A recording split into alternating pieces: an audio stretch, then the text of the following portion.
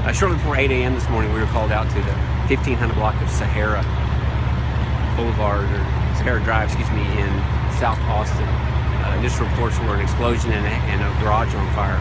First crews arrived to find heavy fire coming from the garage and the attic of a single family home. Uh, crews got inside, starting to, to, to, knock down the fire, but the fire had progressed uh, so significantly in the attic that we started having structural uh, integrity compromise.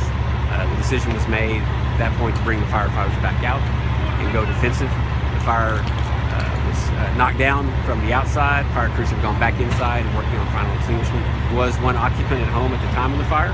She was able to get out safely. However, uh, a small dog was inside the house. Fire crews uh, pulled that dog out.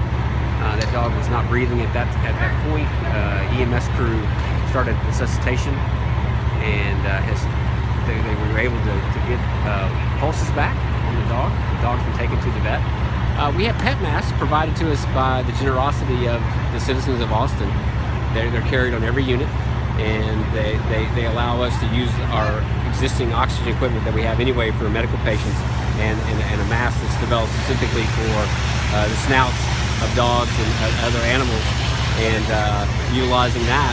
The EMS uh, did uh. They were even doing dog CPR. They did a good job getting at least the dog a chance uh, because again probably it was smoke uh, that overcame the dog so we'll see what happens. Is it safe to say the dog's gonna be okay?